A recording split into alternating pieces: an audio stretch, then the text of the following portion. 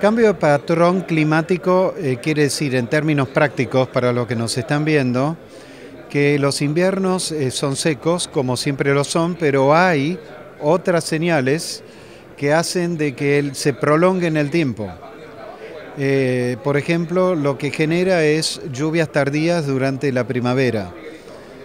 Luego se producen las lluvias, pero nos afecta todo el plan de siembras de los diferentes cultivos de la cosecha gruesa. No tanto la fina, pero sí la gruesa.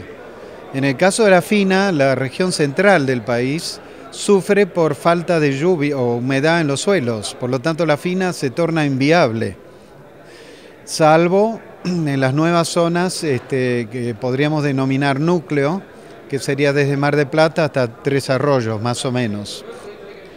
Luego nos encontramos con un verano, obviamente, digamos, los veranos son secos, pero con tormentas aisladas. Y eso implica que hay que estar muy informado como para no eh, colocar, digamos, eh, cultivos que florezcan durante plena sequía. Es una cosa bastante básica en ese sentido, pero no tan simple cuando se trata de lograr buena información. La buena información es la que hace que uno deje de perder plata o por el otro lado sea acertado sobre todo su plan de negocios. Y en este caso estoy hablando de mundo agropecuario y agrícola. Y agricultura implica ganadería, porque la, ganadería tiene que comer de alguna forma, así que hay que hacer agricultura para comer. Yo vengo del mundo de la ganadería también, así que lo conozco bien.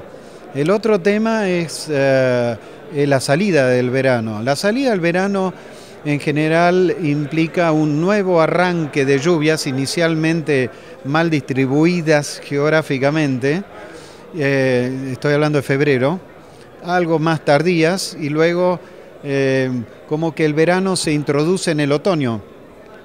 Y lo que sucede ahí es que las lluvias que aparecen durante el mes de marzo, incluso abril, eh, deberían haber aparecido, digamos, o generándose durante el mes de febrero. Así que lo que sucede es que la madre naturaleza no lee los diarios y no está enterado de todo lo nuestro, cuando se siembra o no un determinado cultivo y lo que venga. Entonces somos nosotros los que nos tenemos que poner al tanto y, eh, digamos, eh, evolucionar, tanto ya que utilizamos este, eh, teléfonos celulares y cambiamos autos y vamos a camionetas más grandes y se parecen a un living con rueda, bueno, lo mismo tenemos que hacer con la información es la clave para lograr que el resto funcione.